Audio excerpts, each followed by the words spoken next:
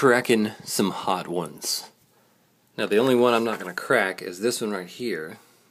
73 Ford Gran Torino. Only because I also have the Flying Custom 73 Ford Gran Torino and I kind of uh, like having them both and I like the kind of difference in cards there. Flying Customs I think are on their way out if they haven't already. If you guys have checked out the uh, the last case of these that's supposed to come out. Not sure exactly what's going to be in that assortment, but uh, it's looking pretty awesome. We won't see the Flying Customs anymore, and I can't remember, are Hot Ones done as well? Anyway, kind of like to have the same model um, represented from the two different series that we may never see again, so I'm going to keep those two in the card. For now, I'm going to set those over here, and we're going to start with the 84 Pontiac Grand Prix.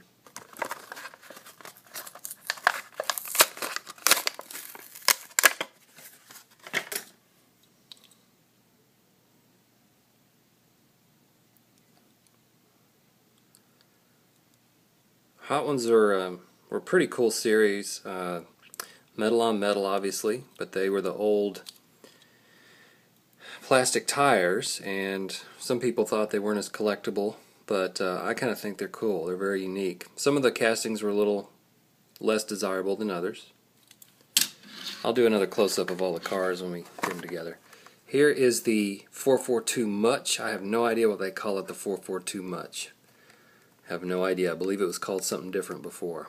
Race Grooves has a video where he talks about it. Uh, but I love this car. Very cool car. Now, there's an Olds 442 Off-Road coming out in the new Flying Customs that I will have to have, so I will definitely be doing a video on that. Ooh, yeah, look at that. It's just a cool shape of to, a, to the car. It's all chrome. I love how they just kept the wheels chrome, got the pipes on the side. Just kind of a mean, futuristic looking, futuristic for like 1988. But, uh, that's cool. And the design is really kind of retro retro crazy. He's got some tampos on the side, but uh, here's your bottom. 1970 and 2011. Tell me what the much means, because uh, I don't know. That one rolls really nice. How about we do the sidekick? This one's kind of weird, but I picked it up anyway. Thought it could go with my Flames collection.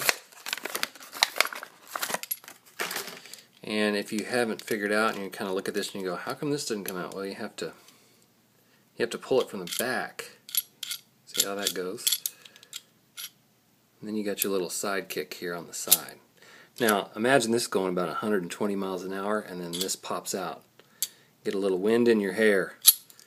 Anyway, that's a cool looking model when you get it out of the package. Pretty cool, cool idea. You know, not my favorite model ever, but still pretty funky, pretty funky piece. A little suspension to it too. Alright, uh, Nomad, this is definitely going in my Flames collection.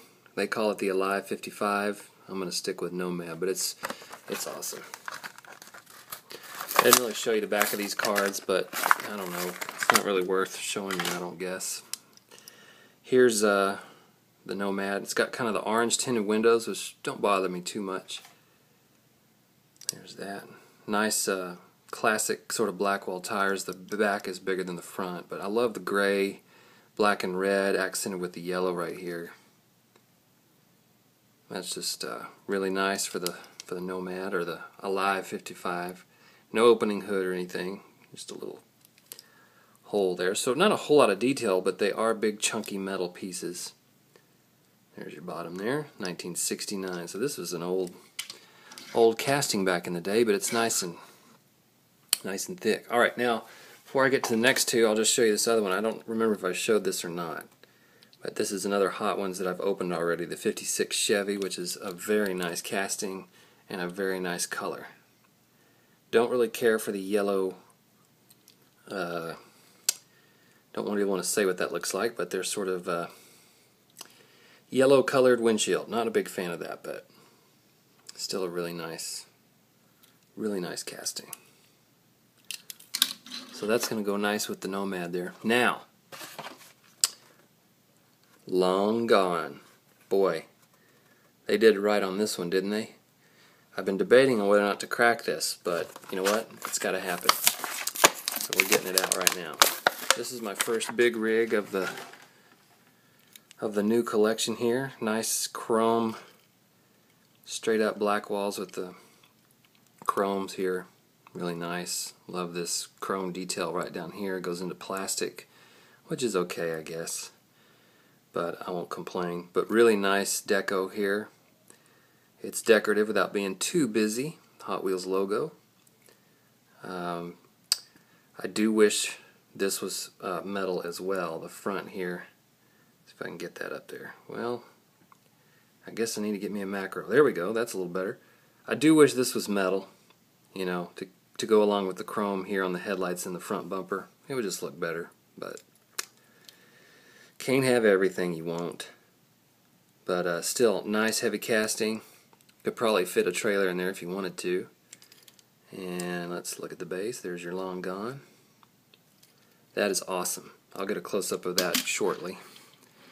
That's fun to have out of the package. You got to have one out of the package. Now here is probably the best Hot Ones release of them all. This is just my opinion. You might argue this one is, and I'm, you know, you have an argument there.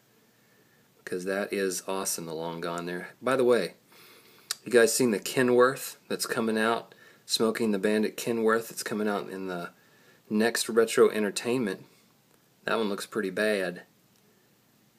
I don't know, I like my long gone though. Anyway, this uh, Backwoods Bomb, this has got to be for my money, the best Hot Ones they released. I have a couple of these, so I don't mind opening this one. You know, this has been shown a million times. Race Grooves uh, compared this Backwoods Bomb with the original Backwoods Bomb. But I have to say, I like the new release better. The design's better. I just like it. Look at that.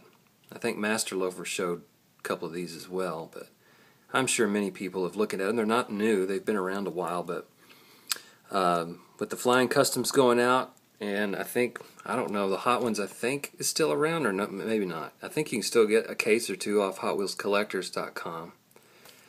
But um, that's just a super unique casting, and I think it's the same casting as the tow truck.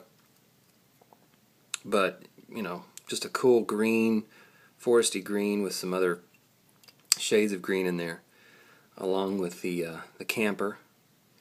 Just makes you want to get in it and drive up in the mountains and be gone for a few weeks. Take a look at the base real quick. And that pretty much does it for this one. So there's your backwoods bomb. That's my probably that's my favorite hot ones of the whole bunch.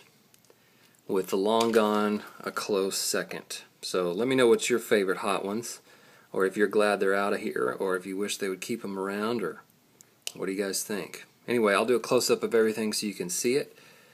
And uh, thanks for watching. We'll see you next time.